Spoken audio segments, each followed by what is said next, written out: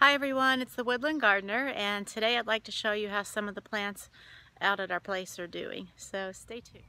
So here we have one of the coral bell plants that we looked at when I first got this. I guess it was the last week or so. So it's doing quite well. It is in a mostly shady spot but does get some sun. And here's the second one in a different planter, um, maybe about 30 feet away from that previous one and it gets a little bit more sun than the other one so it'll be interesting to see how they grow and if there's any differences in their rate of growth and how well they thrive based on the light that they're getting. This is an Astilbe August light that I picked up yesterday and got settled into this planter. It's still looking a little wonky from the transplant but it ought to do just fine. It's got some beautiful flowers on it. Look at that color. Gorgeous.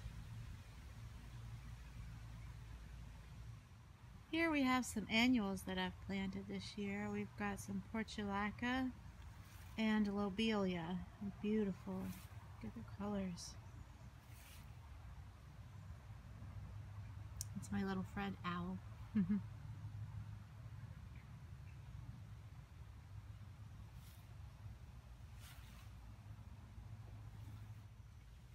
here we're looking at daylilies, of course.